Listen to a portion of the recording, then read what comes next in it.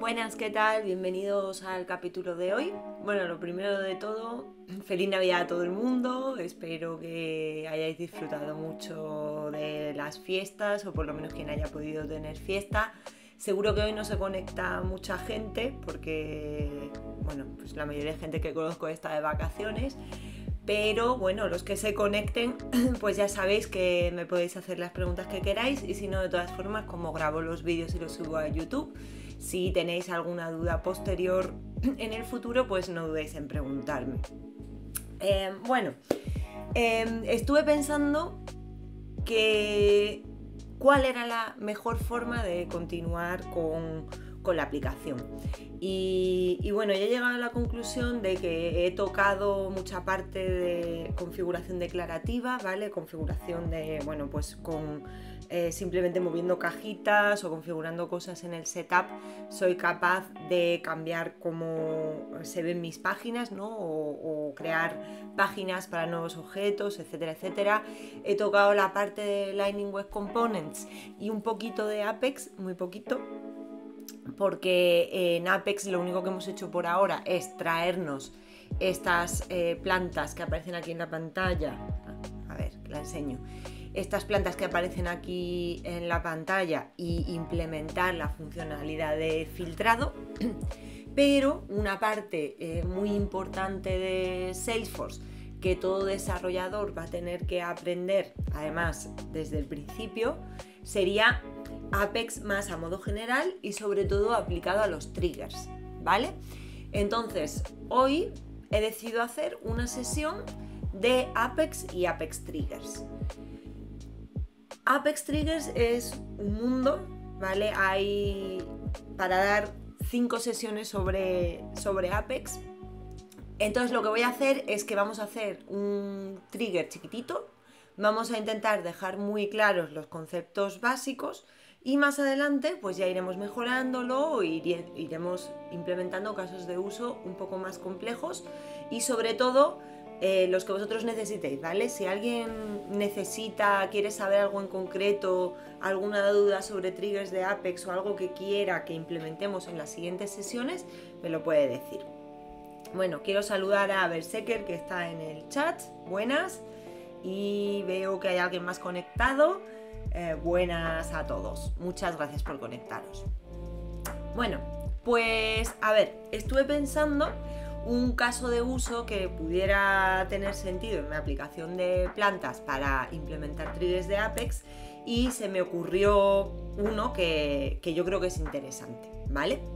Entonces nosotros de momento tenemos un objeto especie, el objeto especie pues almacena información sobre las especies en general, ¿no? Por ejemplo, pues la hierbabuena y si veíamos los detalles era pues cuándo se debe regar la, hierbabuena, por ejemplo aquí, ¿no? Cuándo se debe fertilizar, eh, los detalles sobre cómo cuidarla, etcétera, etcétera. Pero estos son especies, ¿vale? Ahora, si yo quiero gestionar las digamos, instancias de hierbabuena que yo tengo en mi casa, instancias de especie, que le vamos a llamar planta por ponerle un nombre, ya eh, podría crear un objeto para guardar información de esa planta en concreto, que a lo mejor puedo tener cinco hierbabuenas diferentes, ¿vale? Entonces, ¿para qué me va a servir ese objeto planta que voy a crear, que ya va a tener que ver con las plantas que yo tengo en mi casa, no con la especie? Porque en cada planta yo voy a guardar información de cuándo la riego y cuándo la em, abono, ¿vale? La fertilizo y teniendo en cuenta la información que me viene de la especie, es decir, cuándo se debe de regar y cuándo se debe de abonar, pues voy a crear ahí unas automatizaciones que me manden notificaciones y que me digan, hey, que regaste tu planta hace un mes, te toca regarla de nuevo, ¿vale? De momento lo que vamos a hacer hoy es un trigger que calcule esas fechas automáticamente y ya más adelante haremos lo de mandar notificaciones, ¿vale? Y también he pensado en hacer pues una pantalla que yo pueda ir a lo mejor con mi tablet a, mi terraza a regar mis plantas y que pueda poner las que he regado o, o no ese día para que sea también más automático. Pero bueno, eso lo haré más adelante, ¿vale? Por ahora yo voy a suponer que simplemente cuando yo seteo una fecha de regado o fecha de abonado, quiero que eh, Salesforce me calcule automáticamente, que lo haremos con un trigger, cuál es la siguiente flecha. ¿Vale? Es un caso de uso que se me ha ocurrido. Entonces, para ello, bueno, pues me voy a crear un nuevo objeto que va a ser el objeto planta. Em, como os digo, va a ser como instancia de especie. Y me va a servir esto para explicaros también las relaciones entre objetos, porque hasta ahora solamente teníamos un objeto, habíamos creado diferentes tipos de campos, pero vamos a crear ahora una relación entre el objeto especie y el objeto planta. Entonces, bueno, pues me voy a crear aquí un custom object. En este caso se va a llamar planta, ¿vale? Lo que voy a hacer es que el nombre, en lugar de ponerle un nombre yo, eh, le voy a poner que sea un autonumber, ¿vale? Porque como os digo, puedo tener eh, una hierbabuena, dos hierbabuenas, tres hierbabuenas y ya no soy tan friki, ¿vale? No les pongo nombre propio a, mis plantas, pero sí que si tienen un identificador, pues yo puedo pegar una pegatinita en cada planta y saber cuál es su identificador en Salesforce para yo luego pues gestionar más rápido esto que os digo de apuntar cuando las riego o cuando no, ¿vale? Entonces le voy a poner un, un formato autonumber que sería un nombre que se setea automáticamente y que se incrementa automáticamente. Va a tener este formato, ¿vale? P y el numerito. Y vamos a empezar con la planta 1. Vale, en principio esto me parece bien. Y ya tendríamos nuestro objeto planta. Una planta va a tener asociada o va a ser de cierta especie, ¿no? Como teníamos nuestro objeto especie, ahora lo que queremos hacer es crear una relación con ese objeto. Y en Salesforce hay dos tipos de campos que me sirven para crear relaciones entre objetos. Sería el Lookup Relationship y el Master Detail Relationship, ¿vale? Una relación Master Detalle es una relación fuerte, es una relación en la cual el detalle no tiene sentido sin el maestro, ¿vale? Eh, por ejemplo, cuando tenemos un documento y las líneas del documento, típicamente una factura, ¿vale? No, no, tiene sentido que haya una línea de factura por ahí suelta sin tener un documento de cabecera, ¿no? Sin embargo, en este caso voy a crear un lookup relationship. porque Va a haber casos en los que sí, mi planta va a ser de una especie determinada y, hombre, y, no va a cambiar su especie, desde luego, a lo largo de su vida, ¿vale? Pero también puede darse el caso en el cual yo me compro una planta, la quiera dar de alta en el sistema y ni siquiera sepa todavía qué tipo de especie es, ¿vale? Y sí que tiene sentido que esa planta esté en el sistema hasta que yo averigüe qué tipo de especie es. Entonces en mi caso voy a crear una lookup relationship el decidir si una relación es de tipo lookup o master detalle, esa sería, digamos, la, motivación principal. Pero aparte hay una serie de implicaciones que hay que conocer antes de decidir esto, ¿vale? Si estudiáis para la Platform Developer 1, os tendréis que estudiar muy bien, muy bien, muy bien todas las diferencias entre estos dos tipos de relaciones porque además cae bastante en la certificación, ¿vale? Pero yo por ahora os digo lo principal el tipo de relación, si es más fuerte, más floja, si puede existir el hijo sin que exista el padre. Como en mi caso sí puede existir, pues voy a tirar por la lookup relationship. Entonces, venga, vamos a ponerle, bueno, vamos a decidir con qué está relacionado. En este caso está relacionado con el objeto especie, y le vamos a poner un nombre de campo. Nos sugiere que utilicemos ya el nombrecito especies, pues me parece bien, ¿vale? O sea, es decir, mi planta va a tener un campo que se va a llamar especie y que va a estar relacionado o que, o que va a apuntar hacia el objeto especie y me va a decir de qué especie es mi planta.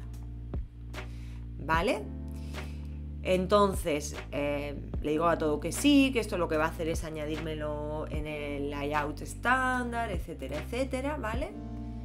Y ya estaría, digamos, mi campo principal, que va a ser interesante, para yo luego poder consultar cuando cambian las fechas de regado de las plantas, qué especie tiene, cuál es eh, la frecuencia de riego o de abonado que me dice esa especie que tengo que seguir y ya calcular la fecha siguiente de riego o de abonar. ¿Qué más campos les vamos a crear? Bueno, pues le vamos a crear campos fecha que me permitan apuntar toda esta información, ¿vale? Voy a crear un campo que va a ser la última vez que lo regué, va a ser un campo fecha y le vamos a llamar last water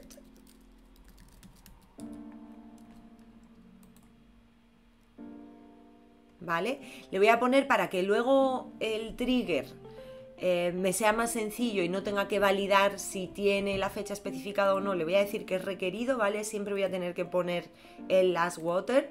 De hecho, bueno, si acabo de comprar la planta, el last water puede ser perfectamente el día que la compré, porque seguramente me venga del vivero regada, ¿vale? Y si no, pues la riego y lo apunto.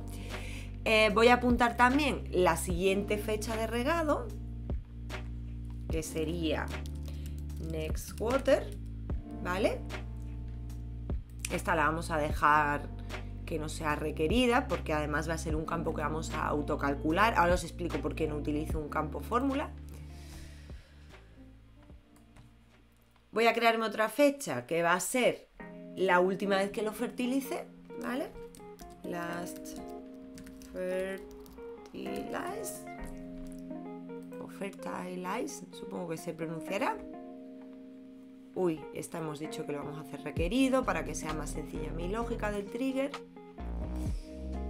Y por último, vamos a crear el next fertilization date, ¿vale?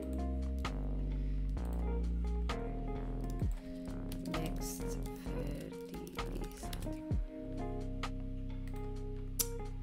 Vale.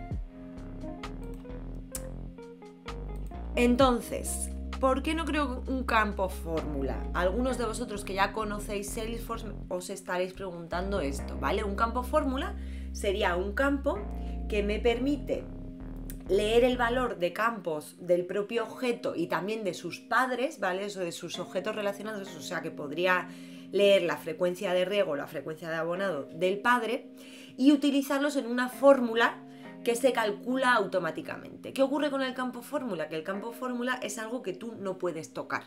¿Vale? De hecho, no se almacena, sino que simplemente cada vez que se te muestra el objeto por pantalla, se recalcula. ¿Qué ocurre? Que puede ser que yo, por el motivo que sea, quiera modificar, en mi caso de uso, eh, la fecha de siguiente regado y la fecha de siguiente abonado porque a lo mejor, pues no sé, esos días haga particularmente mucho calor y la quiera poner antes o lo que sea, ¿vale? Y entonces por ese motivo yo he decidido no crear un campo fórmula y hacer el cálculo por mí misma. Ese cálculo lo podría hacer con herramientas declarativas también, ¿vale? Yo podría crearme ahora mismo un, flow y con el flow hacer el mismo cálculo que yo voy a hacer por código. Pero como yo lo que quiero enseñar es el código, ¿vale? Cómo se haría un, trigger de Apex que eh, va a ser necesario muchas veces y va a haber desarrolladores que van a preferir utilizar código en lugar de utilizar Flow, ¿vale? Pues yo me voy a ir a implementar todo con código y ya está. Pero tened en cuenta que eh, si queréis que un administrador pueda cambiar esa mm, automatización de forma sencilla, o eh, simplemente hacerlo más rápido porque ya tenéis el manejo de Flow, pues lo podríais hacer con Flow, pero yo voy a elegir Apex, ¿vale? Entonces, ya tengo mi objeto. Bueno, vamos a hacer una cosa, vamos a crear una tab para mostrarlo en la aplicación. Que esto sería aquí en tabs, Hola, la gente que hay conectada, qué bien, que veo que se ha conectado más gente. Humberto Daniel, buenas tardes. Y el talibán amable, buenas tardes. Qué bien, muchas gracias por conectaros, especialmente pues siendo época vacacional, ¿no? Que bueno, que qué tal va la Navidad, que espero que, que la estéis disfrutando lo que se pueda. Venga, pues creamos nueva tab para nuestro nuevo objeto, planta y le vamos a poner, pues no sé qué iconito elegir, pero por ejemplo, por ejemplo, mira, este del corazón, ¿vale? Vale, entonces, eh, bueno, ahora mismo quiero que me incluya la nueva tab en mi aplicación de plantas. Y ya vamos a abrirla y vamos a ver cómo la tab aparece. ¿Vale? Ya la tenemos por aquí. Ahora mismo no, tengo creada ninguna, ninguna planta. Para los que habéis llevado tarde, os cuento que lo que estoy haciendo es que he creado un objeto planta que ya va a ser, digamos, la planta física que yo tengo en mi casa que va a tener una relación con especie, ¿vale? Eso me ha servido para explicar cómo se crean relaciones con, objeto, con otros objetos en Salesforce, con master detalle o lookup, que en mi caso he elegido un lookup porque es una relación así como más débil, y eh, me va a servir para hacer un trigger. Hoy vamos a hacer un trigger que va a calcular eh, automáticamente cuál es la siguiente fecha en la cual tengo que regar mi planta o abonar mi planta teniendo en cuenta la especie que pertenece. ¿Vale? Entonces, bueno, pues ya tendríamos aquí eh, estos cambios.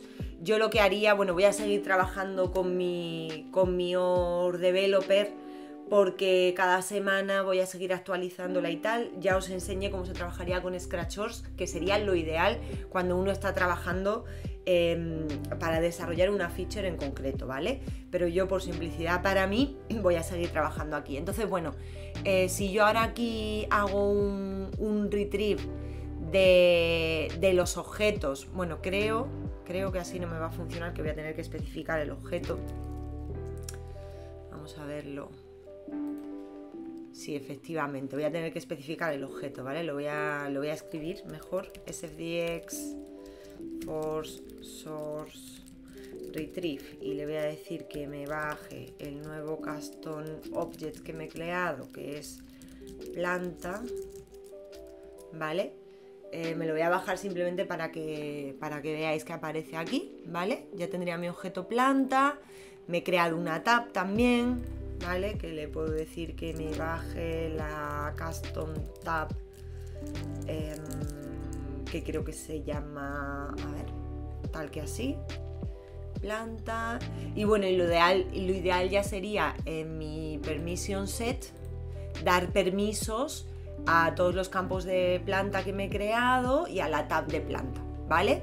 Eso yo ya lo he hecho aparte en, la, en el código que tengo que voy subiendo a GitHub, a Git, por si, por si queréis verlo, ¿vale? Que por cierto, no sé ni si, ni si os he enseñado dónde está el repositorio, pero vamos, os lo enseño en un momento.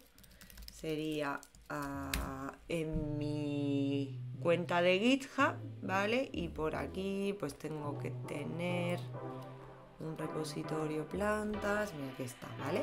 Y aquí voy subiendo todos los cambios que voy haciendo, los voy subiendo aquí. De hecho, subí ayer que estuve trabajando en esto, pues toda la parte que os digo, en la cual sí que he incluido en el permission set eh, todo lo que tiene que ver, perdón, el permission set está aquí abajo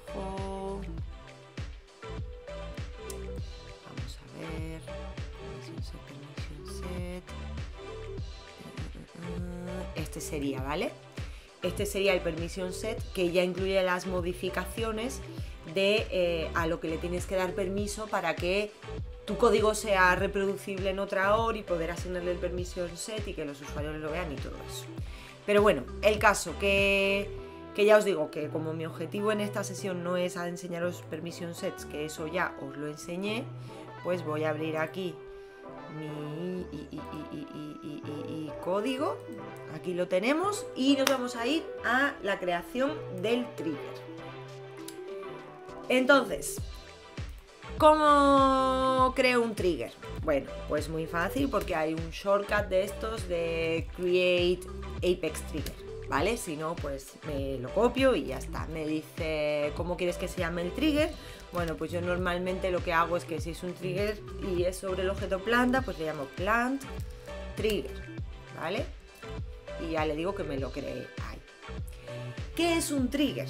Bueno, pues un trigger, digamos que es un trozo de código Apex que se va a ejecutar cuando se hacen modificaciones en los objetos, ¿vale? Si este trigger es sobre el objeto planta, ¿vale?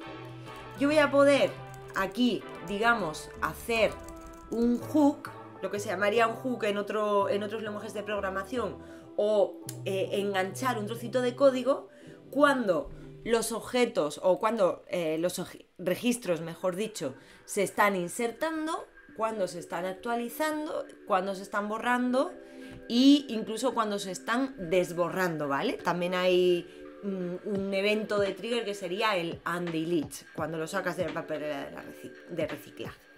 En este caso, yo lo que quiero es hacer un cálculo cuando se eh, crean nuevos registros de plantas o cuando se actualizan, ¿vale? Porque yo lo que quiero es que cada vez que eh, el usuario esté o bien creando una planta desde cero, seteando la última fecha en la que se regó, se abonó, o bien cuando el usuario está actualizando esa fecha porque me he subido con mi tablet a mi terraza y he dicho, oye, que la acabo de regar, eh, regístralo para saber cuándo lo tengo que regar otra vez, ¿vale? En esos dos casos sería cuando yo quiero que se autocalculen los campos esos de siguiente fecha de riego, siguiente fecha de, de abonado, ¿vale? Entonces, ¿cómo funciona esto de los triggers? Bueno, pues en los triggers eh, digamos que tú pones aquí los eventos a los que quieres responder. Ahora después os explico por qué quiero hacerlo en el before. Que también me va, o sea, también hay otro evento que sería after, ¿vale? Pero eh, para justo lo que yo quiero implementar, que son el autocalculado de campos, tengo que utilizar la parte before. Y entonces aquí yo ya puedo discernir si estoy en un evento u otro mirando unas variables que se llaman trigger.isBefore, por ejemplo, trigger.isInsert, ¿vale? Estos son unas variables, digamos que de contexto, que me van a decir a qué evento está respondiendo eh, la, la, ejecución de este trocito de Apex que ahora yo voy a pegar aquí o a crear a qué evento está respondiendo cuando se ejecuta, ¿vale? Es decir, que yo cada vez que inserte un, registro, este trigger, se me, eh, el código que hay aquí se me va a ejecutar. Lo que pasa que yo tengo que saber de alguna manera si es en insert y es before o es otro evento, que ahora, os voy a explicar por qué. Eh, si es un update, pues también lo puedo saber. O sea, lo que va a ocurrir es que en cada evento se me va a ejecutar todo lo que yo tenga aquí. Y yo, en mi lógica que escribo en el trigger, tengo que ser capaz de discernir en qué caso estoy o qué evento lanzo el trigger, por así decirlo, para hacer las acciones determinadas que yo quiera hacer en ese momento, ¿no? Entonces, en nuestro caso, vamos a escribir dos cosas. Por una parte, o sea, por un lado, vamos a escribir una automatización que cuando se eh, crea o actualiza una planta em, cambiando su fecha de eh, regado, quiero calcular siguiente fecha de riego, ¿vale? Riego. Esa va a ser una de las automatizaciones que voy a implementar. Y luego voy a hacer la misma, pero para el abonado, ¿vale? Fecha de abonado, calculamos su fecha de abonado. Entonces, ¿cómo sé yo que estoy creando, que se está creando una planta? Bueno, pues sería eh, if trigger.isBefore, porque estamos en la parte before. Bueno, Realmente con poner aquí trigger.isInsert ya me valdría, ¿vale? Porque no tengo aquí definido ningún evento de la parte after. Vamos a dejarlo así por simplicidad de momento. Si es un insert, pues ya quiero hacerlo de calcular siguiente fecha de riego, ¿no? Calcular siguiente fecha de riego. Pero lo que ocurre es que también me vale si es un update y se está seteando la fecha de riego, ¿vale? O sea, em, tendría que hacerlo, a ver, vamos a hacerlo primero en dos trocitos separados para que se entienda, ¿vale? Eh, if trigger.isUpdate y aquí vamos a poner otra condición más que va a ser si está cambiando la fecha de riego entonces calculamos, entonces calculamos la siguiente fecha de riego, ¿vale? Entonces, en este caso es muy claro, ¿vale? Si es un insert como eh, yo puse que era obligatorio especificar la fecha de riego, pues en ese caso siempre la voy a calcular y punto, ¿vale? De hecho, si queréis, podemos crear aquí un metodillo aparte. Bueno, eh, no puedo porque estoy en el trigger, luego os explico lo de los patrones de triggers, pero voy a dejarlo aquí especificado, que eso es lo que quiero hacer, ¿vale? ¿Cómo sé yo? Ahora, si es un update, si estoy en este caso, ¿cómo sé yo si la fecha de riego está cambiando? Bueno, pues yo puedo saber eso gracias a otras dos variables de contexto que serían el trigger.old o trigger.new, ¿vale? Que además estas variables, esto sería una lista, esto sería una lista, pero tienen también su versión mapa, que sería trigger.oldMap y trigger.newMap, ¿vale? Entonces, eh, ¿qué contienen estas, estas variables de contexto? Pues si es un update, yo estoy cambiando el registro y por ejemplo estoy calculando, eh, estoy cambiando su fecha, su última fecha de riego, ¿no? que es el campo que queremos mirar justo, pues el trigger.new va a contener el nuevo valor y el trigger.old va a contener el antiguo valor, ¿vale? Entonces, digamos que yo aquí lo que tendría que hacer es em, obtener el eh, valor nuevo, obtener valor nuevo de la fecha de riego de trigger.new, obtener el valor antiguo de la fecha de riego de trigger.old o también me vale el mapa, ¿vale? Y compararlos. Y ya, si eso es así, ¿vale? Si old eh, date, old eh, watering date. Es distinto de new watering date, entonces sería cuando yo calculo la siguiente fecha de riego, ¿vale? Porque para qué quiero recalcularla de nuevo si no se está seteando un nuevo valor a esa fecha, si no se está cambiando, ¿verdad? Ya me valdría el cálculo que hizo el trigger anteriormente. Entonces, ¿cómo se obtiene el eh, valor de la fecha de riego de trigger.new? Bueno, pues aquí entramos a explicar otro concepto de los triggers, que es que los triggers están bulkificados. Vale, ¿esto qué significa?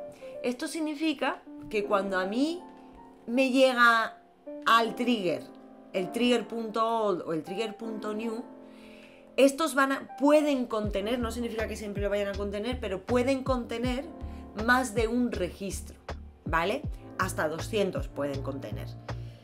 ¿Por qué ocurre esto? Porque hay operaciones que se pueden hacer en bulk en la plataforma, tanto por código como mm, por funcionalidad estándar, que sería, por ejemplo, quiero cambiar la fecha de riego de 200 eh, plantas al mismo tiempo. Si tú haces eso a la vez sobre las 200 plantas, aquí este trigger, digamos que va a ejecutarse a la vez para esas 200 plantas.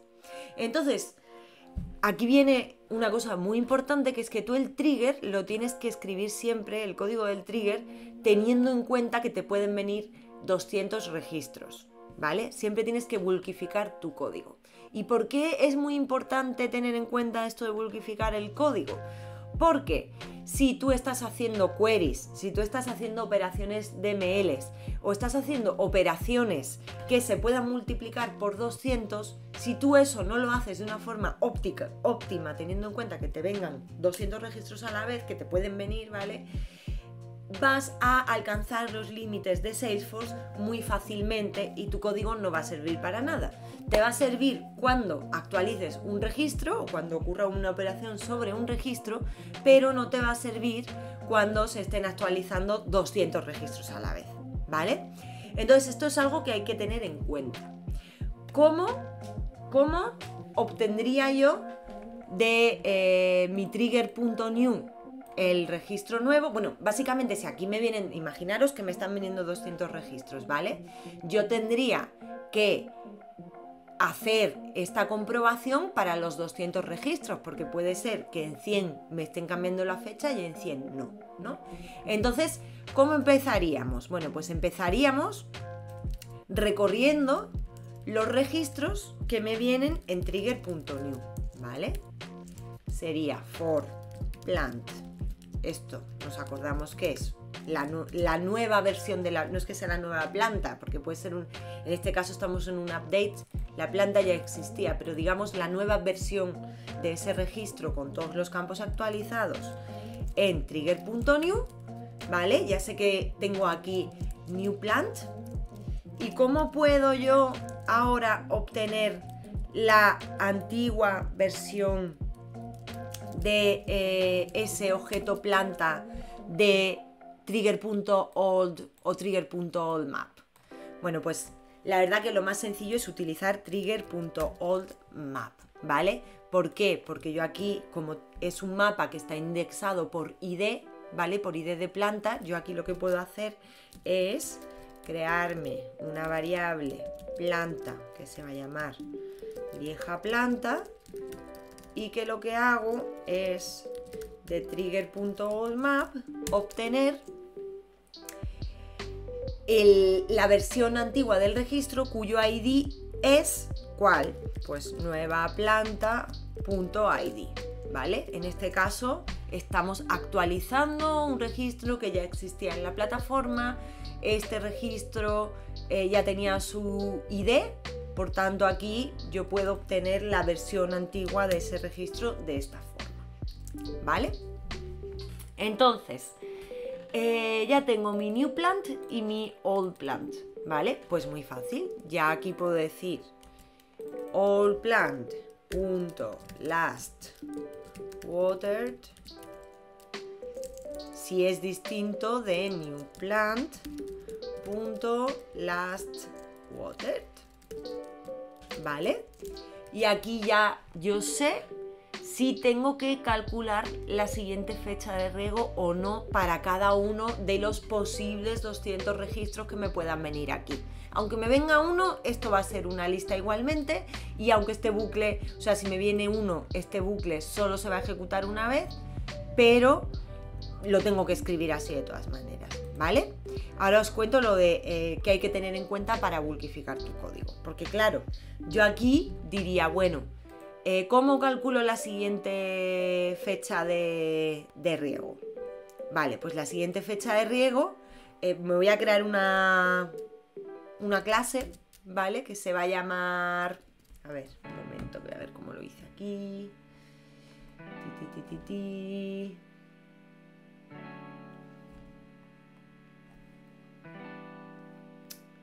Vale,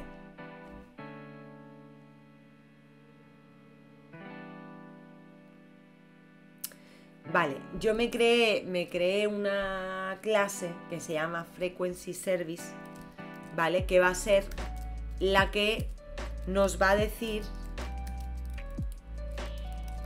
teniendo en cuenta,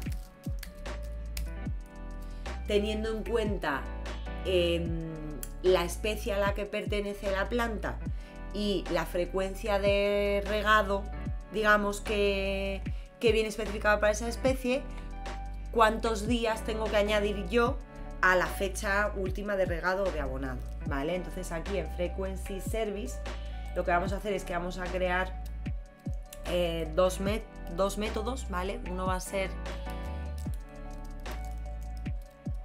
get watering days, que le voy a pasar una especie y me va a decir cuántos días tengo que añadir al cálculo, digamos, por ahora voy a poner un valor fijo, ¿vale?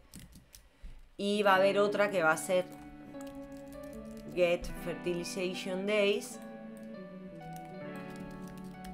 y por ahora pues le voy a poner también un valor fijo, ¿vale? Y esto ya lo iremos mejorando poco a poco. Entonces, eh, ¿qué es lo que yo querría hacer aquí? Bueno, pues aquí para calcular la siguiente fecha de riego, ¿qué es lo que tendría que hacer? Bueno, primero tendría que eh, ver qué especie, de qué especie es mi planta, ¿no? De qué especie es mi planta. Ahora, para esa especie, calcular o pedir, mejor dicho, frecuencia de riego para esa especie. Y ahora, ahora, especie. Jolín. Esto no lo queremos. Eso. Y por último, sería pues esos días que yo tengo que añadir. Ya, vale. Por último, sería esos días que yo tengo que añadir, pues eh, calcular siguiente fecha o siguiente fecha de riego, ¿no? Siguiente fecha de riego es igual a eh, última fecha de riego más días devueltos. Vale. Entonces, ¿qué ocurre? Bueno, en primer lugar, ver de qué especie es muy planta es muy fácil porque yo tengo aquí la new plant. También lo podría ver en el old plant, pero mejor en el new plant que tiene siempre la versión más actualizada de nuestra planta, ¿no? De hecho, podría estar cambiando la especie, aunque sería un poco raro.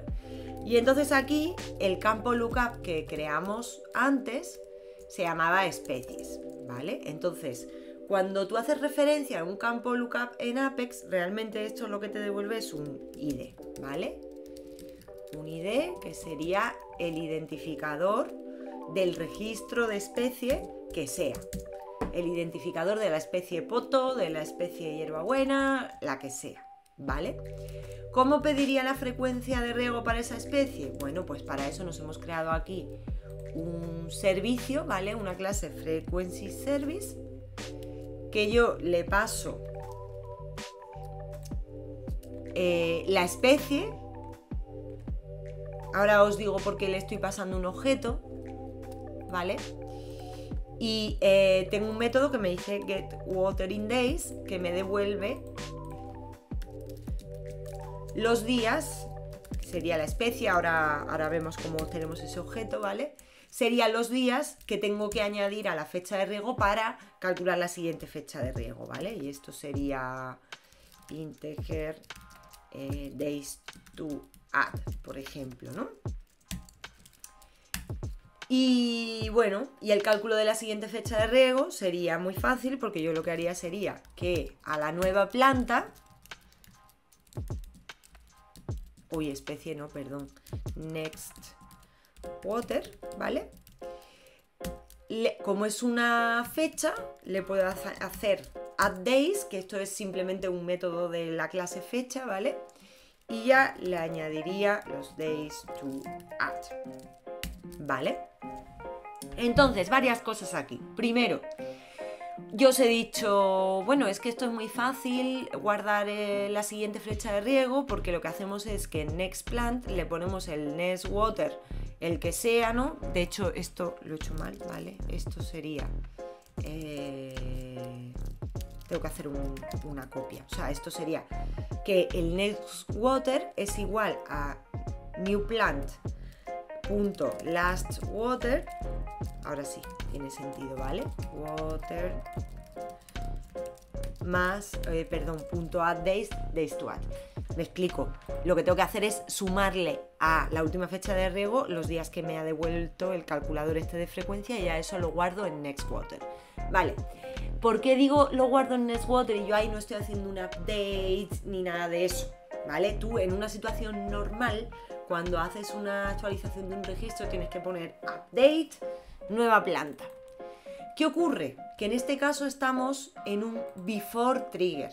En un before trigger se nos permite hacer este tipo de cálculos, ¿vale? Los before trigger están ahí para que nosotros hagamos autocálculos de campos de, eh, nuestro, de nuestro registro, ¿vale?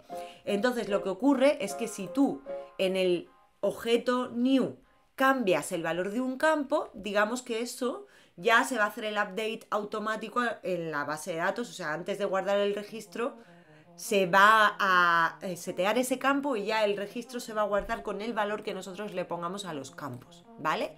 Entonces, ¿con esto me valdría para actualizar el valor de Nextwater? Sí, sí me valdría, ¿vale? ¿Cómo va la gente que está online?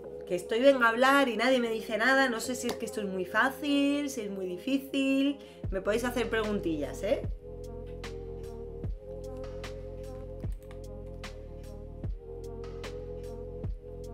Vale, bueno, pues entonces, por un lado, esto queda explicado, por qué utilizo un before update y cómo soy capaz de modificar el registro en el before update. Ahora, aquí me falta algo. Yo tengo aquí el especie ID, porque a mí me está llegando, el registro que me está llegando aquí es la planta, que como mucho tiene una referencia a su especie. Pero yo necesito obtener el objeto especie entero, bueno, no entero, pero por lo menos algunos campos del objeto especie, en concreto la frecuencia de riego y la frecuencia de abonado, porque yo voy a necesitar eso aquí en mi frequency service, ¿vale? Yo voy a necesitar especie. Punto, eh, creo que era summer watering frequency.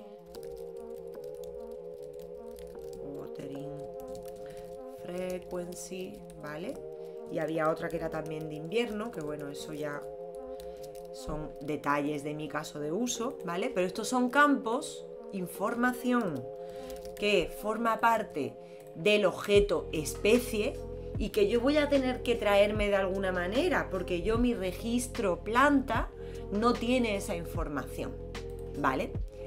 Entonces, si yo no supiera nada del tema este de que me vienen los registros de 200 en 200, pues podría decir, ah, bueno, pues muy fácil, porque lo que hago aquí es, eh, me traigo el objeto especie, ¿no?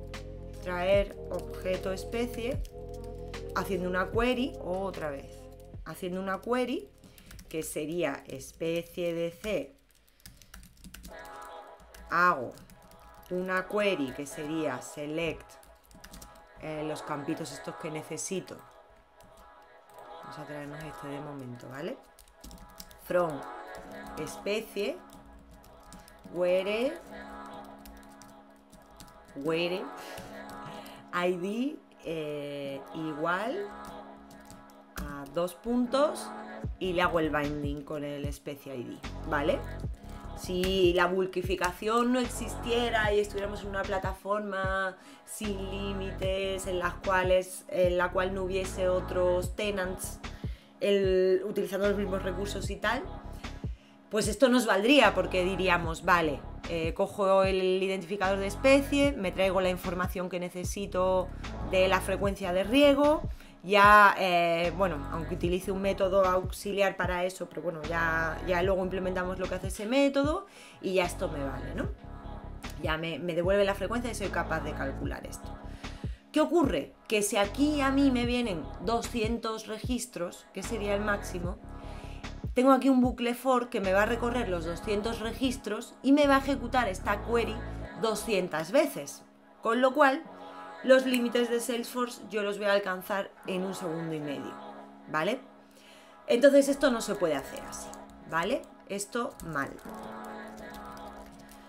¿Cómo se haría esto de una forma correcta, lo que tendríamos que hacer es hacer una sola, una sola query para cargar todas las especies relacionadas. Eso normalmente yo lo llamo precarga, ¿vale? O sea, yo lo que hago es eh, siempre al principio de, de mi trigger o de mi clase trigger, que luego ya veremos también, otro día ya veremos que lo suyo es mover todo este código a una clase, ¿vale? Eh, aquí haría yo precargar eh, objetos relacionados o información necesaria de objetos relacionados, ¿vale? Y entonces mi idea sería aquí hacer una query, pero para todos, para todos los posibles especies, las posibles especies que me puedan que puedan estar relacionadas con todos los posibles registros de mi trigger, ¿vale? O sea, yo aquí en algún momento voy a tener que hacer algo así como... em, a ver si es escribir. Especies igual, ta ta ta ta ta ta ta ta ta. ¿Vale? Ahora vamos a ver cómo, cómo consigo yo hacer esto. Eh, veo que Humberto Daniel me dice todo bien por ahora. Mm, bueno, mm, contadme si vosotros habéis tenido que enfrentaros a muchos triggers, si esto es nuevo para vosotros, si no sé si lo entendéis, eh, o sea, si- me refiero, si, si tenéis claro el concepto de triggers, si hay alguna pregunta, etcétera, ¿vale? Contarme también alguna experiencia chula que hayáis tenido, no sé, me podéis contar lo que queráis. Que a mí me hace ilusión también saber de vosotros un poquito. Vale, entonces, eh, ¿cómo haría yo esta precarga? ¿Vale? Pues para precargar una lista de registros, básicamente lo que voy a necesitar son sus identificadores, ¿vale? Y todo esto que yo estaba haciendo aquí, em, que lo que estaba haciendo era guardar el identificador para cada una de las plantas que yo quiero actualizar, ¿vale? Aquí ya, va- ya lo que vamos a hacer, bueno, vamos a unir a esta lógica, ¿vale? Porque yo quiero que eh, tanto si es un insert como si es un update y se dan estas condiciones, se haga este cálculo, ¿vale? Eh, eh, estoy pensando. A ver, si es un insert, el all plant me va a venir vacío, ¿vale? Porque no hay una versión antigua del registro, todavía no se ha insertado el registro en la base de datos y esto me daría un attempt to the reference a null object, entonces lo que voy a hacer es que el insert, el trigger.insert lo voy a poner aquí, ¿vale? O lo que puedo hacer, a ver, para que me quede mejor, lo que vamos a hacer aquí, si all plant es igual a nulo o se da esto, ¿vale? Eh, esto que tengo mal aquí.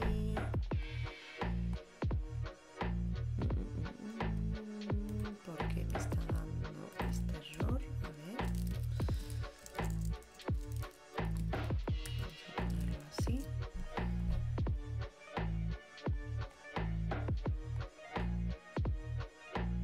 Me dice, el carácter es invisible. A ver qué he metido yo ahí.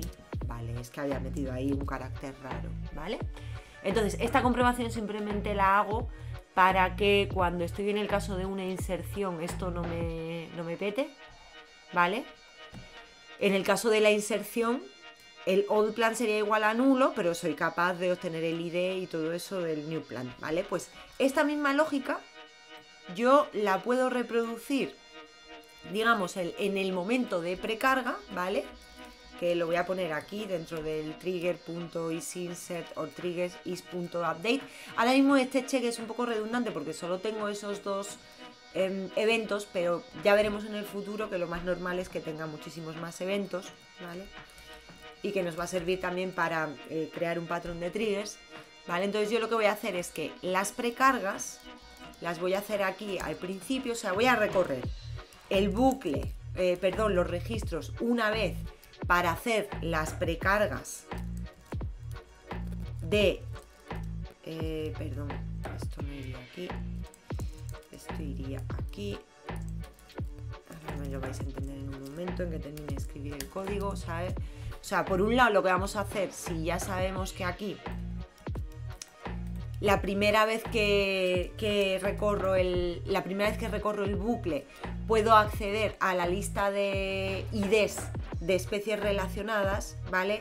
Esto, en lugar de guardarlo en una variable que no hago nada con ella, lo puedo guardar en un set de ID, ¿vale? Me voy a crear aquí un set de ID que va a ser especie IDs, que va a ser el que yo luego voy a utilizar en la query para precargar esa información de las especies.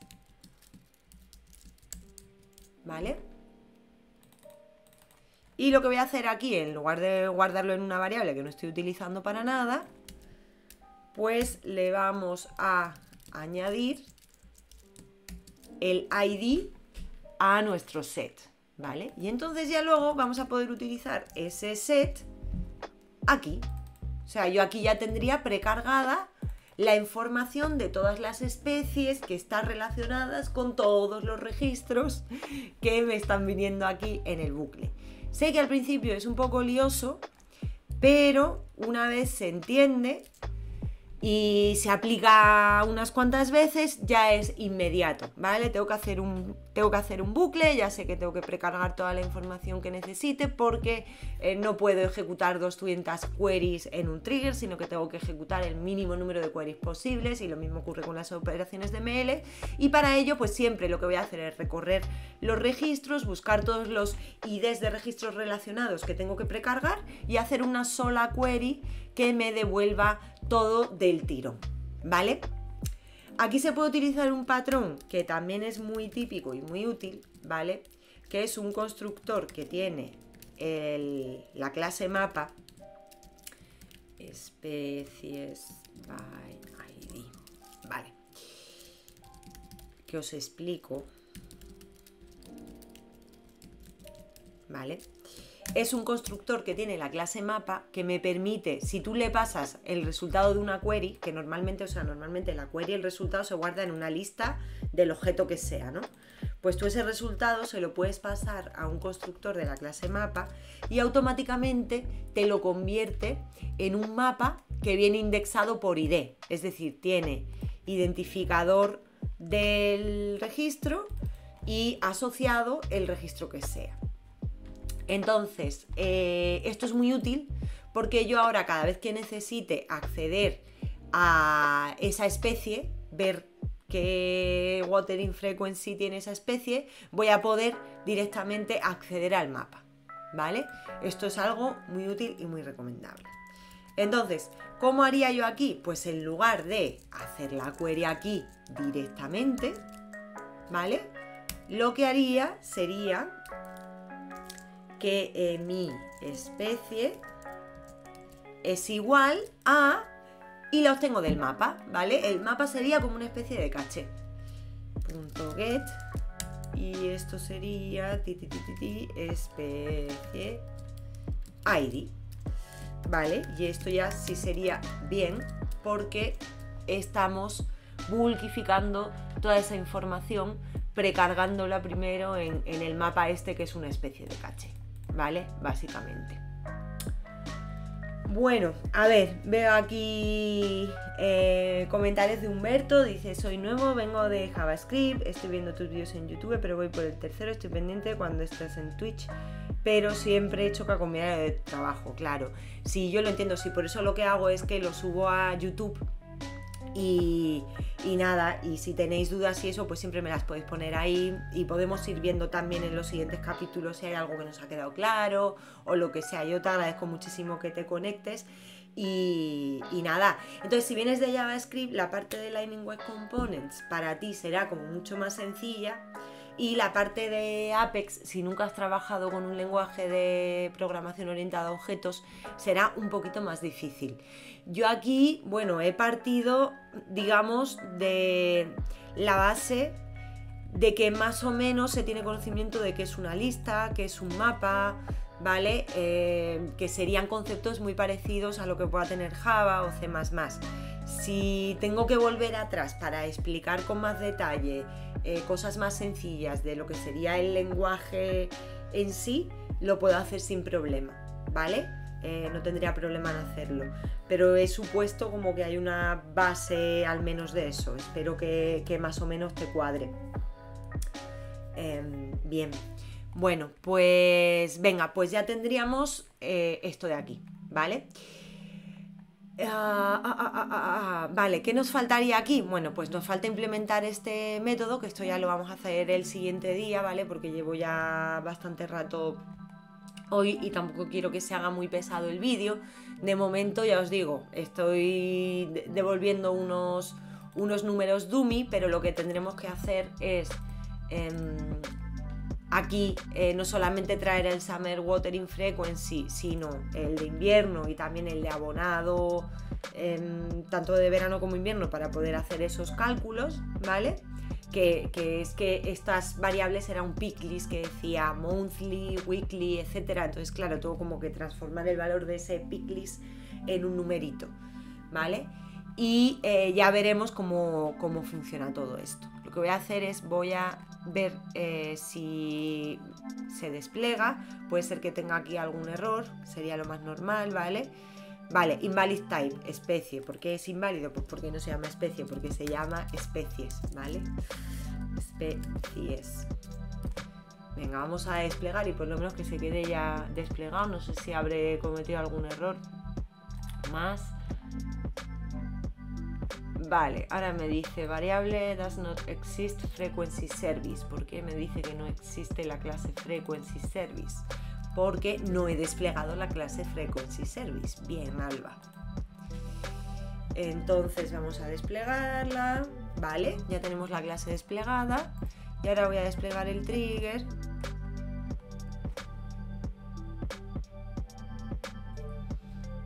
Y parece que me lo ha desplegado bien, ¿vale? Si queréis podemos hacer una mini prueba a ver si por lo menos me calcula la fecha más 20, ¿no? Que sería un valor fijo y al día siguiente implementamos lo otro, ¿vale? Venga, vamos a hacer la prueba. Vamos a hacer la prueba de la inserción primero. ¿Vale? Entonces yo voy a crear aquí una planta que en este caso voy a crear mi planta que tengo un poto que me regaló mi amigo Raúl. Me la regaló hace por lo menos 6 años, en el 2014 o algo así, y todavía me vive. Aunque he de decir que el poto es muy fácil de cuidar, que por eso me vive. ¿Vale? Y vamos a suponer que, bueno, pues que el último día que la he regado he sido hoy el último día que la he fertilizado he sido hoy. ¿Vale? Yo lo guardo Vale, y me ha dado un error aquí que me dice, esto es algo del trigger que está mal, ¿vale? Me dice, uy, null pointer exception, algo estoy haciendo mal en la línea 11. Pues vamos a ver en la línea 11 qué pasa aquí. Uh, uh, uh, uh, ¿Por qué me está dando aquí un null pointer? Mm, mm, mm, ¿Por qué me está dando ahí un null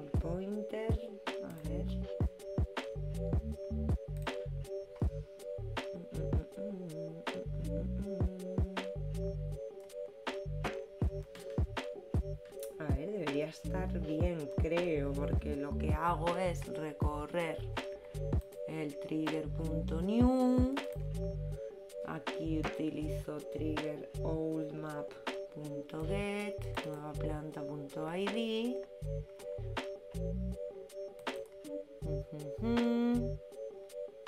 voy a formatear esto que me estoy volviendo un poco loca. A ver, así se ve mejor, ¿no? Vale. Eh, ¿Por qué me estaba dando ahí un pete? A ver, voy a, voy a lanzarlo otra vez con el formateo y ver si me... O sea, voy a desplegarlo otra vez con el nuevo formateo para ver en qué línea me da el error. Si me lo está dando en la línea 12 o en la línea 13, pero creo que me lo va a dar, no creo que me lo va a dar en la 10, de hecho. De nuevo. Me dice línea 10, ¿vale? Entonces sé que el error está aquí. ¿Y por qué me está dando este error? Trigger.new Trigger.old Vale, me está dando el error porque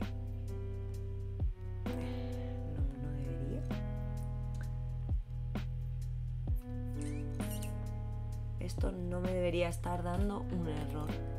De hecho, aquí puedo hacer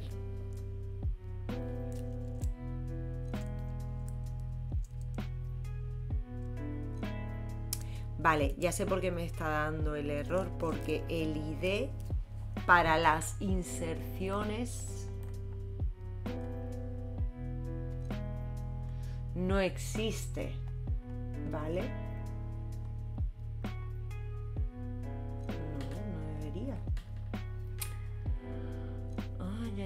ay, ay, ay, es muy tarde ya y no lo veo. Venga, a ver si los que estáis en el chat alguno lo veis. Echadme una mano. Uy, os he perdido.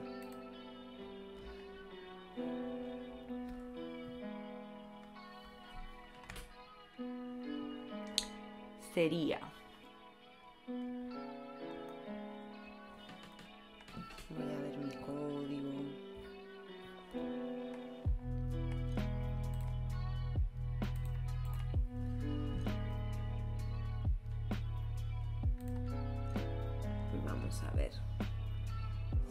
Estoy haciendo algo mal.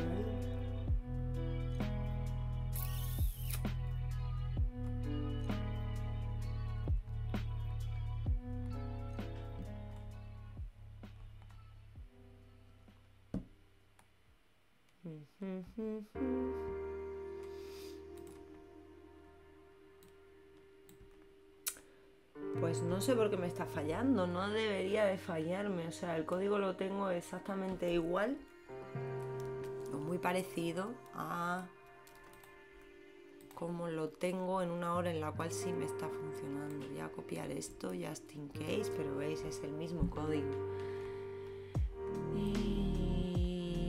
Vale, eh, dejadme que le eche una pensada y el próximo día os lo digo, ¿vale?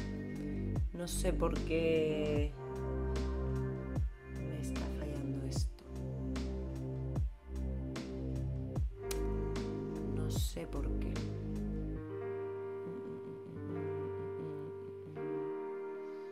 Porque tendría más sentido, o sea, que me fallase algo por aquí, que yo dijera, bueno, es que el all plan no existe, vale, pues estoy comprobando aquí que sea nulo.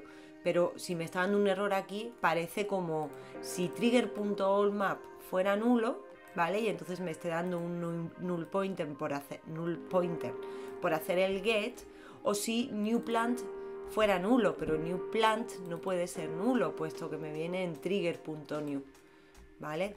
Entonces eh, lo miraré tranquilamente y os digo el próximo día a ver dónde está el fallo. ¿Vale? Pero bueno, por lo menos ya veis cómo sería la idea de crear los triggers, ¿vale? Y eh, todo lo que hay que tener en cuenta de, eh, primero, las variables de entorno que están disponibles para yo saber en qué evento se está ejecutando este trigger. Segundo, si yo escribo ese código para que se ejecute en el before, en el cual todavía puedo editar el objeto, o en el after, que otro día veremos otro ejemplo de after. Eh, cómo hacer la precarga de objetos relacionados para evitar problemas con los límites. Y, bueno, y por último, cómo actualizar los campos cuando estoy en la parte before. ¿Vale? Entonces, venga, lo vamos a ir dejando por hoy. Voy a ver si me habéis puesto algo en el chat. Muy bien, Humberto, muchas gracias. Muchas gracias por vuestra paciencia porque siempre me falla algo, pero claro, es que eh, resolverlo en directo es mucho más difícil que eh, si estás tú tranquilamente y te pones a debuguear, etcétera, etcétera, ¿no? Y ya pues se me está haciendo bastante tarde hoy, así que me gustaría dejarlo. Pero bueno, que el próximo día seguimos con esto, implementamos el Frequency Service y ya vemos todo funcionando, ¿vale? Que bueno, eh, de nuevo, feliz Navidad a todo el mundo, espero que disfrutéis mucho, comáis mucho turrón, polvorones y todas esas cosas.